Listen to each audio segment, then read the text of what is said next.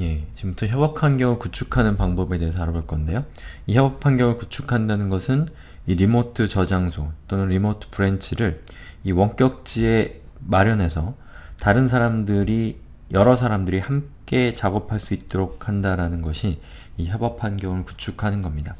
뭐 우리 수업 중에 이 협업에 참여라고 하는 수업이 있었는데요. 이 수업을 보셨으면 아시겠지만 여러분이 GitHub와 같은 서비스를 이용하면 GitHub는 인터넷상에 연결되어 있는 서비스이기 때문에 여러분이 접근할 수도 있고 다른 사람도 접근할 수가 있어서 아주 대규모의 오픈소스 프로젝트가 바로 그런 GitHub와 같은 시스템에서 이루어지고 있는 이루어지고 있는 거죠. 바로 그런 GitHub에 해당되는 이 서비스를 여러분이 직접 운영할 수 있다라는 겁니다.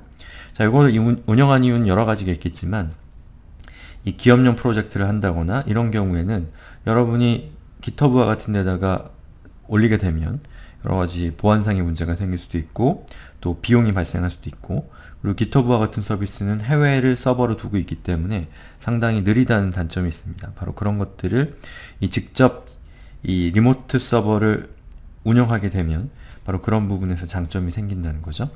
자 그러면 이 수업을 듣기에 앞서서 여러분이 좀 알고 계셔야 될 것이 있는데 이 수업은 기본적으로 리눅스에서 여러분이 리모트 저장소를 설치하는 방법에 대해서 배우니까요. 이 macOS는 약간 다르고 윈도우와는 완전히 다릅니다. 예, 그래서 리눅스에 대한 수업을 리눅스에 대한 지식을 어느 정도 가지고 있는 것이 어, 이번 수업을 이해하는 데는 도움이 될 거고요.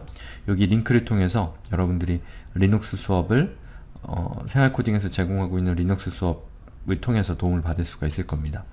자 그리고 이 수업은 이 협업에 참여라고 하는 수업의 서, 수업을 선행학습으로 하고 있어요. 그래서 여기 보시면 협업에 참여라고 하는 수업 있죠? 요거를 먼저 보셔야 됩니다. 자 그리고 본 강의는 예, 아래 문서 중 4장을 참고해서 만들었다 라고 적혀 있죠. 여기 있는 이 문서는 뭐냐면 Pro Git이라고 하는 이 깃을 사용하는 방법에 대한 아주 잘 만들어진 문서가 있는데요. 그것을 국내에서 어, 번역을 했고 그 번역된 내용을 제가 링크를 걸어놓은 겁니다. 이 중에서 이 4장의 내용이 예, 지금 이번 수업의 내용에 해당되고요. 그 내용을 보시고 여러분들이 이번 수업과 함께 병행해서 보시면 예, 큰 도움을 받으실 수가 있을 겁니다. 자, 원격 저장소를 운영하기 위해서 제일 먼저 해야 될 거는 어떤 프로토콜을 사용할 것이냐 라는 걸 결정을 해야 되는데요. 우리는 이 여러가지 프로토콜 중에서 이 SSH라고 하는 프로토콜을 이용할 겁니다.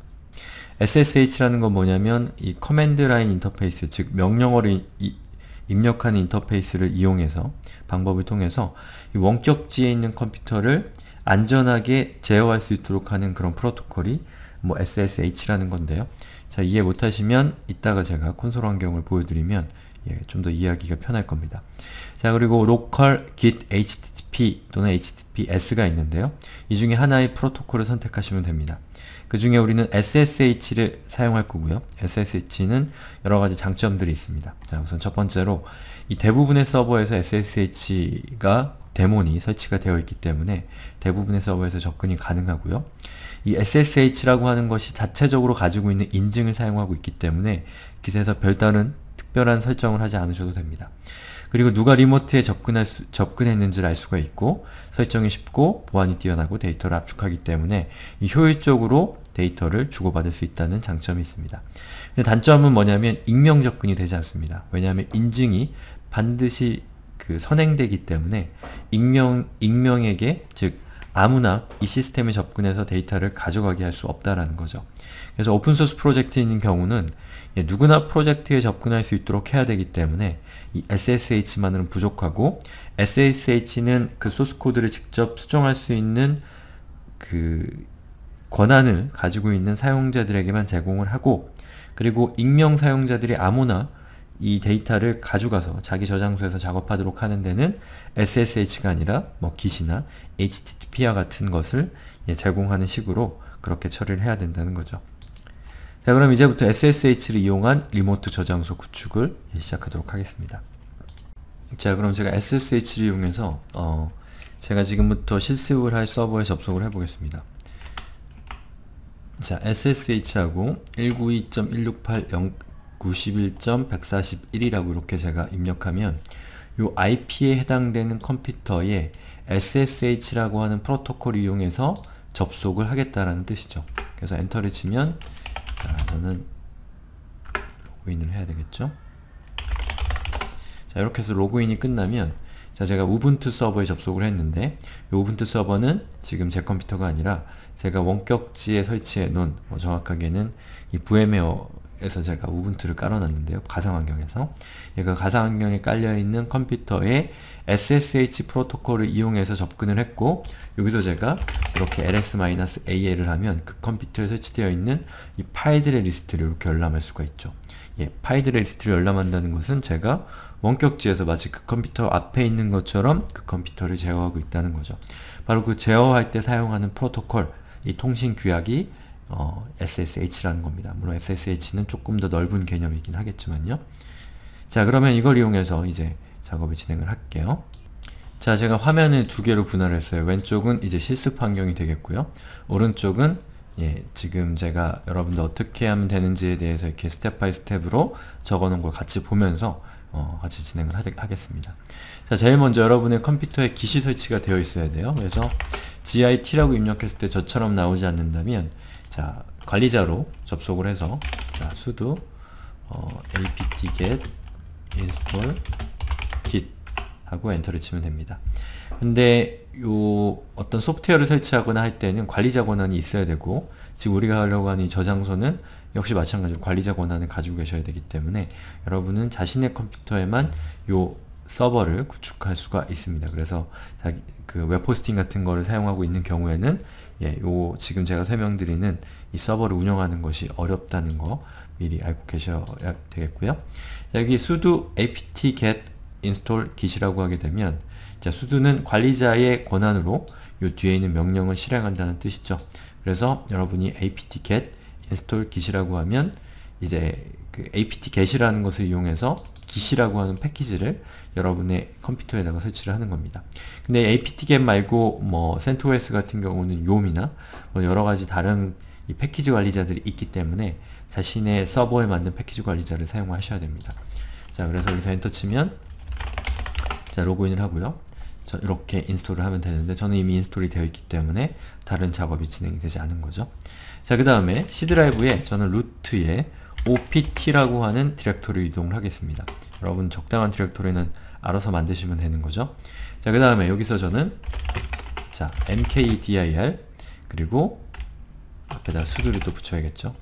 그리고 mkdir 프로젝트라고 하고 엔터를 치고 예, 검색을 해보면 자, 프로젝트라고 하는 디렉토리가 생겼습니다. 파일로 다시 들어갔고요. 저는 음, my project라고 하는 디렉토리를 만들고 거기에다가 이 기세 저장소를 만들 겁니다. 자, 서버라고 해서 별로 특별한 건 없습니다. 자, 그러면 여기서 제가 mkdir my project 하고 엔터를 치고 자, 여기다가 앞에 수두를 붙여야지 되는 되겠죠? 자, 그 다음에 이 디렉토리를 이동을 하고 거기서 git init 그리고 bear shared 이렇게 하게 되면 자, 최초로 원격 저장소를 예, 생성하는 경우에 이 명령을 쓰시면 됩니다. 그 얘기는 뭐냐면 아직 프로젝트가 시작된 바가 없고 지금부터 프로젝트를 요입당하려고 하는 경우에 자, 요 명령을 그 프로젝트 안으로 들어가서 사용하시면 된다는 거고요. 만약에 이미 어떤 프로젝트가 있어요. 그래서 그 프로젝트를 어, 원격지에 넘겨놓고 지금부터 그 기존에 있었던 프로젝트를 기반으로 해서 프로젝트를 시작하겠다 라고 하면 그 밑에 있는 쿨런 명령을 이용해서 뒤에다가 URL을 부여해 주시면 예, 그 저장소, 그 URL에 해당되는 저장소가 원격지 서버에 세팅이 되고 그것을 다른 컴퓨터에서 접속할 수 있도록 연결해 주면 되는 거죠. 자, 여기 bare라고 하는 건 뭐냐면 자, 제가 입력을 해볼게요. sudo 자 보시면 ls-al 했더니 일반적으로 우리가 프로젝트를 생성을 하면 .git이라고 하는 디렉토리 안에 이런 디렉토리 이런 파일이나 디렉토리들이 안에 포함되게 됩니다. 근데 얘들이 .git 안에 있는 게 아니라 그 바깥으로 나와 있는 거죠. 자, bare라는 것을 입력하게 되면 working copy라는 것을 만들지 않습니다. working 디렉토리를 만들지 않는 거죠. 그 working 디렉토리가 하는 역할이 뭐죠? 실제로 여러분들이 어떤 파일을 생성하고 그 파일을 삭제하고 수정하고 하는 작업들이 이루어지는 곳이 working copy잖아요. 바로 그 working 디렉토리를 생성하지 않고 바로 루트 자체가 이 .git이라고 하는 디렉토리 안에 있었던 내용으로 채워진다는 거죠. 자, 이 bear라고 하는 것을 사용하게 된다는 건 뭐냐면 요 저장소에서는 직접적인 작업을 하지 않겠다라고 선언을 한 거나 마찬가지라고 생각하시면 되겠습니다. 왜냐하면 이게 서버기 때문에 여기서 함부로 작업을 하게 되면 어, 원격지에 있는 다른 컴퓨터들이 쫑날 수가 있는 가능성이 있기 때문에 가급적이면 이런 방식을 사용하시길 바랍니다. 자, 그리고 shared라고 하는 것은 뭐냐면 여러 사람들이 이 서버에 접속해서 이 작업을 하는 경우에 그 사람들에게 그 서버를 수정할 수 있는 권한들을 자동으로 만들어주기 위한 기능이 예, 옵션이 shared라고 하는 겁니다. 그래서 이렇게 작업, 이렇게 해서 입력을 하게 되면 저장소가 만들어지고 다만 그 저장소에는 working 디렉토리가 없다 라고 하는 겁니다. 자 그럼 이제 반 정도 끝났어요. 벌써 반이 넘은 거죠.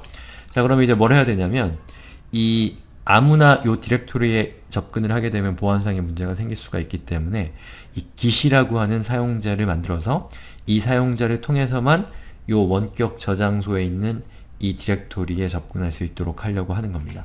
자 그러면 sudo 입력하고요. add user 그리고 git 하고 엔터를 칩니다. 자 그러면 사용자가 추가가 됐죠? 거기다가 패스워드를 입력하시면 돼요. 자 나머지 이런 프로필은 다 생략하셔도 됩니다. 그러면 add user 명령을 통해서 사용자가 추가가 된 거고요. 여러분들은 이제 수 git이라는 명령을 입력하고 여기다가 방금 입력했던 패스워드를 입력하면 git 유저로 사용자 git으로 어, 로그인을 해서 이제 제어를 할 수가 있게 되는 거죠. 그리고 하셔야 될 게 뭐냐면 이 현재 이 디렉토리 있죠. my project라는 디렉토리 이 디렉토리의 소유자를 이 root가 아니라 git에게 이 소유자를 맡겨야 됩니다. 그렇기 때문에 지금 여러분이 어, 현재 그 git으로 로그인이 되어 있는 상태에서는 이 디렉토리의 소유자를 git으로 줄 수가 없기 때문에 자 로그아웃을 하고요. 그리고 관리자로 sudo 명령을 이용해서 sudo chown 요거는 어떤 파일과 디렉토리의 어, 소유자를 다른 사람에게 넘길 때 사용하는 명령이죠. 자, 이고잉 이고잉이라고 하고 아, 제가 실수했네요. 자, 우린 git이라는 사용자에게 권한을 줄 거니까요. 어, 그룹 git 사용자 git에게 권한을 주겠다라는 뜻이죠. 그리고 자, opt 프로젝트라고 하고 엔터를 치면 됩니다. 그리고 ls-al을 해보면 자, 이 my project라고 하는 디렉토리가 git 사용자의 소유로 되어 있는 것을 확인할 수가 있습니다. 자, 그러면 이제 제가 현재 이고잉이니까 자, 저는 다시 git으로 로그인을 하겠습니다. 수하고 git 한 다음에 패스워드를 입력하고요. 그리고 cd를 입력하게 되면 예, git 사용자, git이라는 사용자의 홈 디렉토리로 이동을 하게 되죠.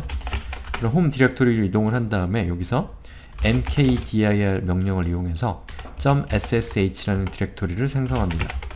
그러면 .ssh라고 하는 숨김 디렉토리가 생기는데 그 안으로 들어가서 여기에다가 이 인증과 관련된 파일들을 위치시키면 되는 겁니다. 자 그럼 지금까지 서버에서 해줘야 될 일을 했고요. 우리 그 원, 그 지금 제가 화면을 바꿨는데 이 화면은 원격 저장소가 아니라 여러분의 컴퓨터라고 생각해 주세요. 그럼 이제 여러분의 컴퓨터에서 서버에 인증을 하기 위한 절차에 대해서 지금부터 설명을 드릴 겁니다. 자 우선 저는 이 dev라는 디렉토리로 이동을 한 다음에 오른쪽 클릭해서 git bash라고 하는 걸로 이 터미널을 떠, 띄웠어요. 만약에 뭐 리눅스나 또는 맥을 사용하고 계시다면 터미널을 띄우시면 되겠죠. 그리고 여기서 ssh라고 입력하고요. 방금 제가 접속했던 서버, 아마 여러분들 서버에 IP나 또는 도메인이 있을 거예요. 그 도메인을 뒤에다 적어서 그 서버에 접속을 해보세요. 자, 이 뒤에다가 저는 IP를 입력을 할 건데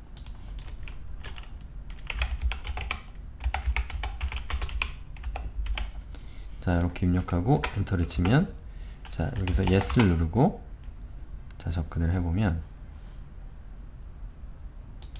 자 여기 패스워드를 물어보죠 아 제가 실수를 했네요 요 앞에다가 우리가 방금 생성한 사용자 git 기시라는 사용자로 로그인해야 되니까 이렇게 접근을 해야 됩니다. 앞에 기시라고 하고 골뱅이를 치면 기시라는 사용자로 이 뒤에 있는 서버에 접속하겠다는 뜻이 되는 거죠. 그럼 여기다가 패스워드를 입력하면 자 보시는 것처럼 로그인이 잘 되면 여러분이 계정을 잘 생성했고 그 서버에는 SSH가 잘 생성이 됐다라는 뜻입니다. 근데 지금 제가 지금부터 하려고 하는 것은 이렇게 ID 패스워드를 직접 입력하는 것이 아니라 자동으로 그 서버에 접근할 수 있도록 하, 는 작업을 지금부터 진행을 할 거예요. exit해서 밖으로 나오고요. clear해서 화면을 어, 깨끗하게 만들었습니다.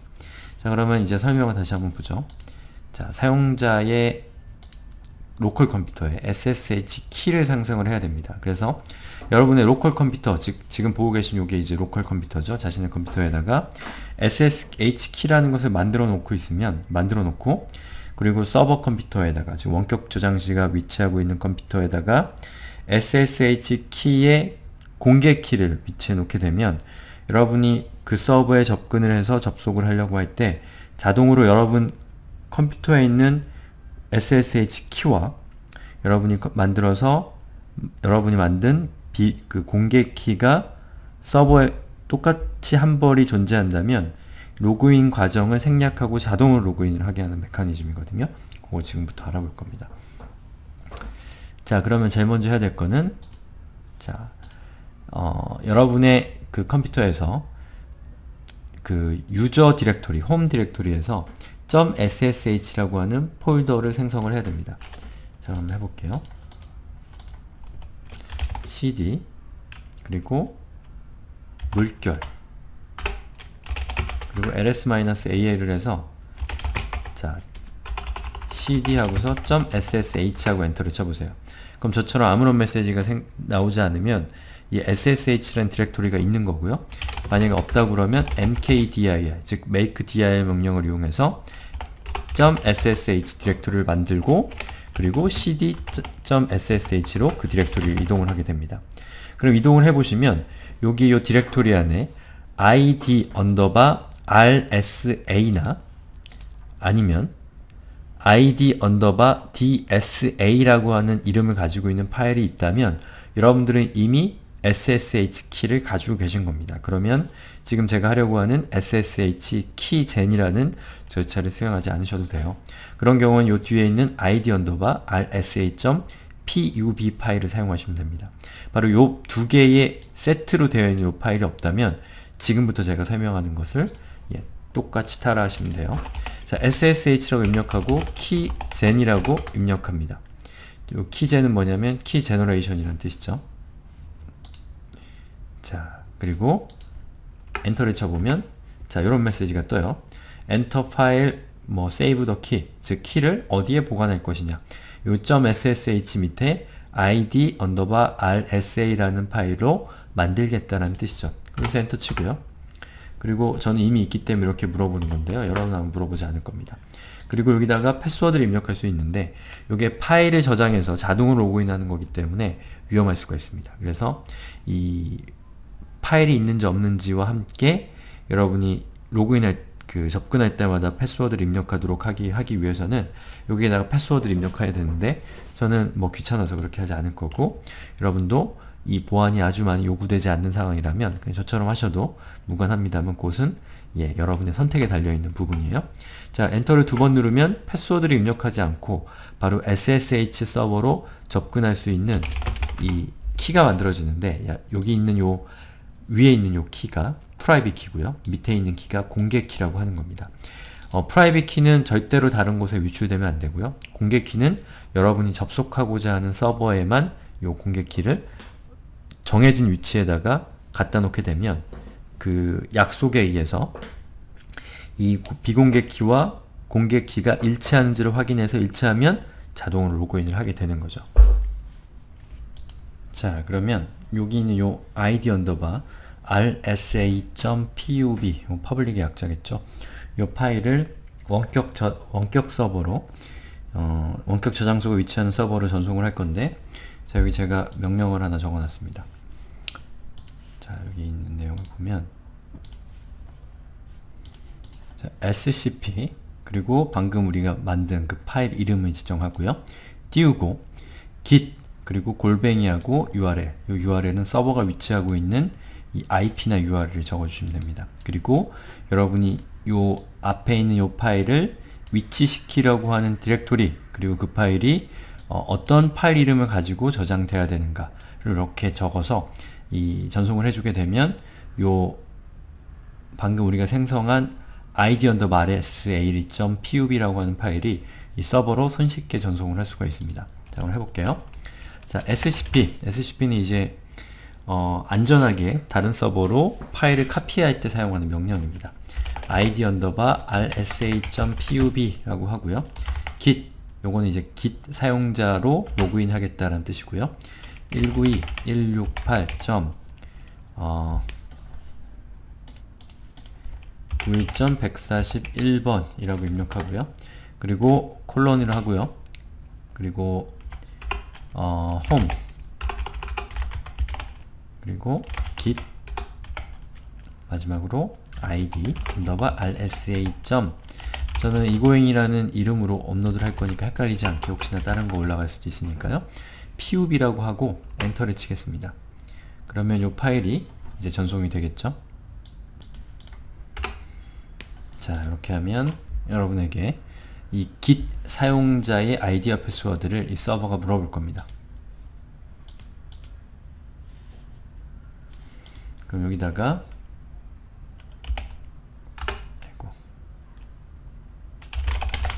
자 패스워드를 입력하면 자 이렇게 100%라고 나오면 요 파일 id underbar rsa.pub란 파일을 이 remote 서버로 저장을 한 겁니다.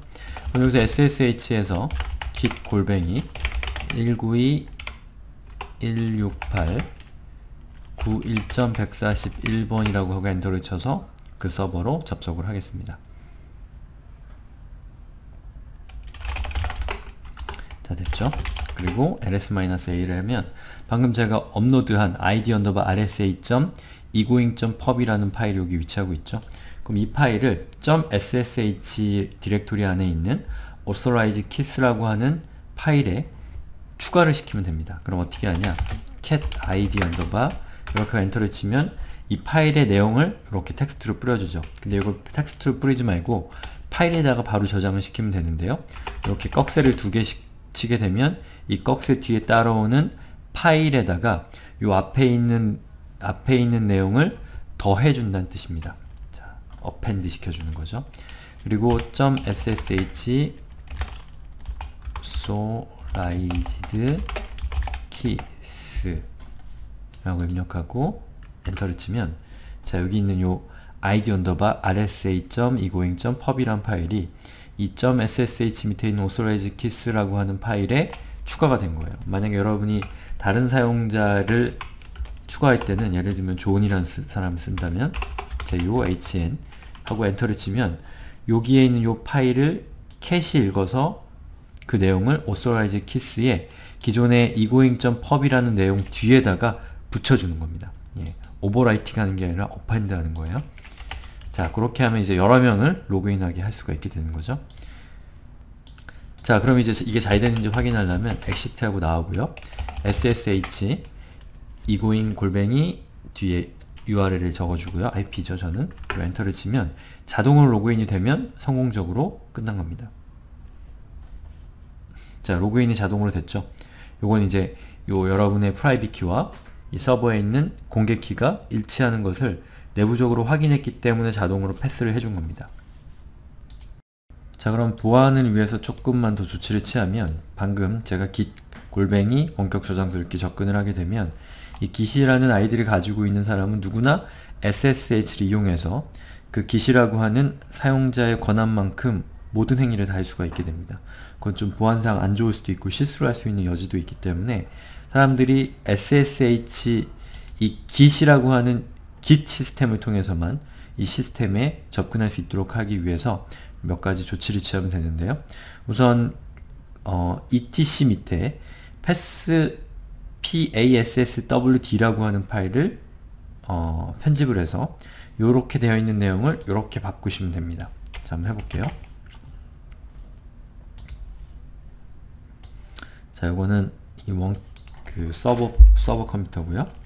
자, 수도 그리고 etc 밑에 passwd 어, 이거는 수, 수두가 없으니까요. 자, 이렇게 해서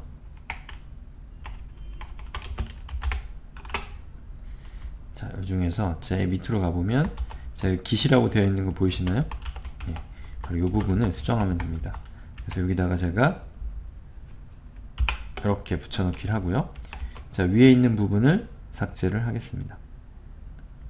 자, 이렇게, 아, 삭제를 그냥 하시면 안 되고, 자, 여기 뒤에 있는 이 슬래시 bin bash라고 되어 있는 부분을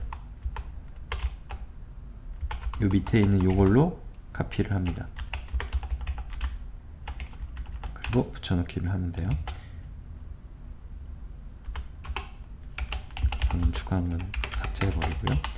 그리고 저장 명령을 내려서 세이브를 하면 되고요. 그리고 이 상태에서 제가 로컬에서 이 원격지로 한번 접속을 한번 시도를 해보겠습니다. 그럼 어떻게 되는지 한번 보죠. 자, 지금 터미널이 왔다 갔다 하니까 좀 헷갈리실 수가 있을 것 같아요. 자, 그럼 여기서 제가 ssh git 골뱅이 192.168.91.141 이렇게 하고서 엔터를 치면 자, 자동 로그인은 되지만 어, shell, shell을 거부하게 됩니다. 자, 여기 보시면 자, Interactive Git Shell is not enabled라고 되어 있고 이 connection이 바로 close가 되어버리죠. 그래서 사용자가 SSH를 이용해서 이 서버를 원격지에서 마음대로 제어하는 것을 방지하는 기능입니다. 자 그럼 여기까지 했으면 이제 클라이막스에 거의 다 온 거예요. 자 이제 모든 준비가 다 끝났고요. 여러분들 작업하는 디렉토리로 이동을 해서 자 저 같은 경우는 요 대부라는 디렉토리에서 작업을 하니까 여기서 배시를 열고요. 그리고 mkdir로 디렉토리를 하나 만들 건데요. 음, my project 어, 이미 있네요. 이미 있는 건 지워버리고 자 여기서 제가 어, git 클론 그리고 git 골뱅이 방금 제가 접속했던 서버 있죠? 192.168.91.141번 그리고 우리가 작업했던 OPT 밑에 프로젝트 밑에 my 언더바 프로젝트라는 그 저장소 만든 거 기억나시죠? 이렇게 명시해주고 엔터를 치면 Cloning into my project라고 하는 게 뜨면서 요 원격지에 있는 요, 요 위치에 해당되는 디렉토리를 예, 여러분의 로컬 저장소로 복제를 하는 명령을 실행한 겁니다. 자, ls-al 해보면 my underbar project라는 디렉토리가 생겼고요. My underbar project 디렉토리로 들어가서 확인해보면 자, .git이라는 파일이 생성이 됐죠. 그럼 여기서 제가 파일 하나 만들어 볼게요. 터치 helloworld.html이라고 입력하고 자 여기에 있는 helloworld.html 파일을 제가 추가를 했죠. 그리고 git add helloworld.html git commit -am add hello world.html 자 이렇게 해서 commit을 했고요. 이 commit한 내용을 서버로 전송을 할 때는 origin o-r-i-g-i-n master라고 하고 엔터를 치면 자 보시는 것처럼 서버로 요 저, 원, 로컬 저장소의 내용이 전송이 됩니다. new branch 하면서 전송이 된 거죠. 그렇게 되면 여러분이 로컬 컴퓨터에서 앞으로 원격 컴퓨터로 요러, 요러한 명령들을 이용해서 어, 저장소를 사용할 수가 있게 되는 거고 여러분 만들었던 이 authorize keys라고 하는 그 파일 기억나시죠? 예, 제가 private key, 뭐 public key 이런 얘기를 했는데 바로 그 키들을 다른 사람들도 만들어서 여러분이 서버 관리자라고 한다면 여러분에게 이메일로 public key를 전송해주면 그러면 그 public key를 여러분이 authorize keys라고 하는 파일에다가 추가하는 방식으로 사용자들을 추가할 수가 있게 되는 겁니다.